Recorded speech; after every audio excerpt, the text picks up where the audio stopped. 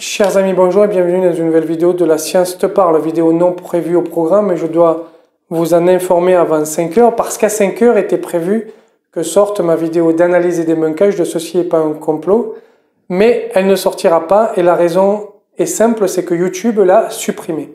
J'ai mis la vidéo hier en ligne pour vous l'offrir aujourd'hui, elle était en non répertorié, je l'ai envoyé à mes tipeurs, les deux tipeurs que j'ai, plus le réalisateur, il est normal que j'envoie aussi la vidéo en avant-première au réalisateur et je vous dirai aussi ce qu'il en a pensé. Quand je dis les normal, au moins par honnêteté intellectuelle.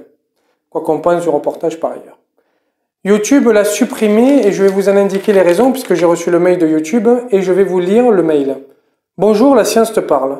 Notre équipe a examiné votre contenu et a malheureusement conclu qu'il ne respecte pas notre règlement concernant les informations médicales incorrectes. Nous avons supprimé le contenu suivant YouTube, ceci n'est pas un complot, analyse et débunkage. YouTube interdit les contenus qui contredisent le consensus des experts d'autorités sanitaires locales ou de l'Organisation mondiale de la santé OMS au sujet du vaccin contre la Covid-19. Nous pouvons bien sûr nous féliciter que YouTube ait ce genre de politique, quoique je vous l'ai dit, je suis absolument contre ce genre de censure algorithmique, et là aujourd'hui elle me frappe.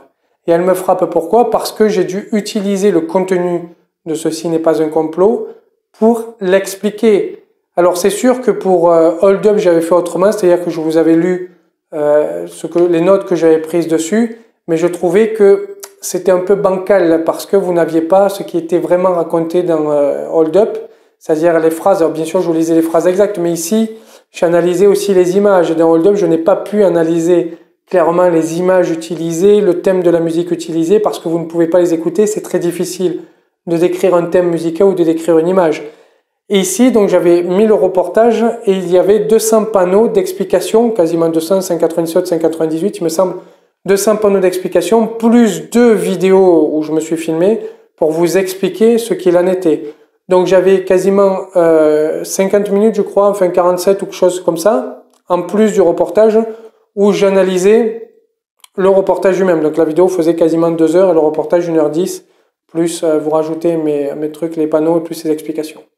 YouTube l'a donc supprimé. Alors, j'ai fait appel, puisque j'ai le droit de faire appel, j'ai fait appel, je ne sais pas dans combien de temps la vidéo réapparaîtra. Seulement, le problème, c'est que comme je souhaite utiliser cette même méthode, parce que je la trouve beaucoup moins bancale, beaucoup plus stricte, lorsque le debunk pour euh, le hold-up plus, enfin en tout cas les, bonus, euh, pour François, pour tout un tas d'autres vidéos, je ne vais pas pouvoir les diffuser sur YouTube parce qu'il va arriver un moment donné où ma chaîne sautera simplement. Donc je vais essayer d'utiliser ma page Facebook si Facebook accepte que je puisse mettre ces vidéos sur ma page. Donc je vais télécharger euh, mon débunkage et mon analyse de ceci n'est pas un complot sur ma page Facebook. Je vous mettrai le lien en description de ma page et comme ça vous pourrez aller le voir là-dessus. Et dans un même temps, j'ai envie de créer un compte Odyssée. Alors je sais que lorsque on partage des liens Odyssée, on se méfie toujours, mais c'est là où sont aussi euh, les complotistes, ce que l'on nomme les complotistes, ceux qui racontent un peu tout et n'importe quoi. Et je crois que si on est sur le même terrain qu'eux aussi, ça peut être bien. Et Odyssée, je crois, ne supprimera pas ce genre de vidéo. Donc je vais essayer de placer euh, ma vidéo débunkage aussi sur Odyssée. Je n'ai pas encore créé le compte, je ne sais pas comment on fait. Je vais essayer de faire ça. Mais dans un premier temps, je vais la mettre sur Facebook, tenter de la mettre sur Facebook si Facebook ne supprime pas. Et vous pourrez le voir. Ce que l'on fera donc, puisque je ne ferai plus euh, ce type de débunkage sur YouTube, parce que les vidéos seront supprimées, Dès lors que j'en aurai un, je vous mettrai, euh, je vous ferai une petite vidéo, vous aurez le lien pour aller le voir, soit sur Facebook, soit sur Odyssée.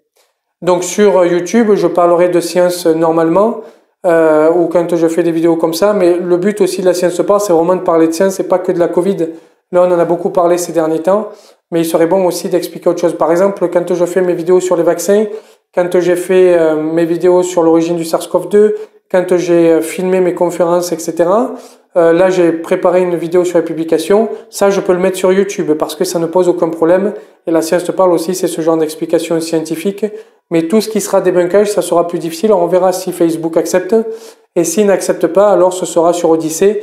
Et vous pourrez aller voir en expliquant, si vous voulez partager le lien, qu'il ne s'agit pas d'une entreprise de désinformation, mais au contraire, euh, une entreprise d'analyse de la, des propos qui sont euh, faux médicalement et biologiquement.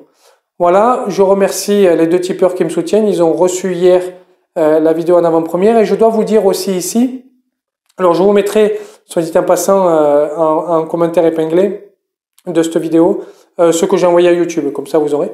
Mais je dois vous dire aussi ce que le réalisateur du reportage a pensé de, de mon analyse, puisqu'il a eu le temps de la voir avant que la, que la vidéo soit supprimée. Alors il y, a, il y a des reproches, bien évidemment. Alors il accepte le débat, mais il me propose dans un an, donc euh, bon, ça se fera certainement pas. Donc ceux qui m'ont dit qu'il ne le ferait certainement pas avaient raison. Mais par contre, il y a un point que je dois vous dire euh, dans son analyse. Je suis parti du fait qu'il était journaliste d'investigation. Il faut savoir que celui qui a fait ce reportage, il me le dit lui-même dans le mail, il est effectivement journaliste. Seulement, il m'explique que son reportage n'est pas du journalisme d'investigation, mais un reportage en tant que tel, et que donc il y a l'idée de l'auteur qui n'est pas objectif. Il me dit ça parce que c'est vrai qu'au long de la vidéo, j'ai comparé un certain nombre de ses plans, un certain nombre de ses dires, euh, par rapport à un certain nombre des gens qu'il interrogeait, comme ses parents par exemple, par rapport à ce que ferait un journaliste d'investigation. Et j'ai comparé son reportage à un journalisme, à un reportage de journalisme d'investigation. Donc lui, il m'a expliqué qu'il n'en était pas un. Il m'a expliqué quelle était la différence. Donc voilà, c'est la principale critique en fait qu'il fait à ça, c'est ce biais-là en disant je ne suis pas journaliste d'investigation. Je vous donne sa réponse parce qu'il est honnête de le faire, il a répondu. Il a été courtois dans ses réponses, il est honnête de le faire. Donc voilà ma vidéo qui va sortir là à midi pour vous informer qu'à 17h il n'y aura pas Ceci n'est pas un complot, que j'ai demandé à YouTube de rétablir la vidéo, je ne sais pas quand est-ce qu'ils feront, mais que dorénavant je vais essayer de mettre sur Facebook et sur Odyssée mes vidéos de débunkage parce que je n'ai pas envie de faire comme j'ai fait pour le premier hold-up, parce que vous n'avez pas les extraits vidéo, parce que vous ne savez pas forcément le contexte, et que c'est, voilà, il y a des biais comme ça, et j'ai envie de faire du travail propre, du travail clair, et j'ai besoin d'utiliser les extraits vidéo.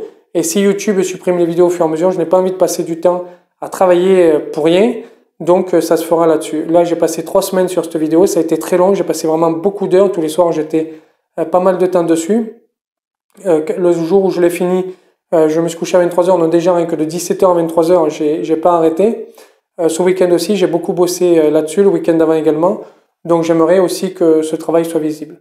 Je vous remercie, je vous dis à très bientôt pour une autre vidéo. La prochaine vidéo parlera de publishing. Il faut quand même que je sorte cette vidéo parce que j'ai filmé il y a quand même pas mal de temps.